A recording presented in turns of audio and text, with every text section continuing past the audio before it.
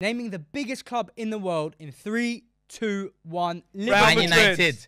Liverpool. This guy said Man United. They're bigger than Liverpool. They're bigger than us in social media terms. They can have their followers. 20 league titles, but in the Premier League era, that is now 30 years, they got 13 league titles. So please respect. In order to be a greatest club in the world, you have to be a greatest club in your own country, and that's what they are. Real Madrid are just the best of the best, and that's it. It's how it is. Yeah, Everyone wants to play for is Real Madrid. when you grow up, you don't think, oh, I want to play for Man Yeah, You yeah. say, I want to play yeah, for Madrid. You want to play for Madrid because they pay an untold amount of money. Do they? We're- we're- They're a we're- fan-owned hold on. club. They don't play that much. Brilliant. Come back to me when Mbappe joins Liverpool next year, okay? Sure, sure. Grow up.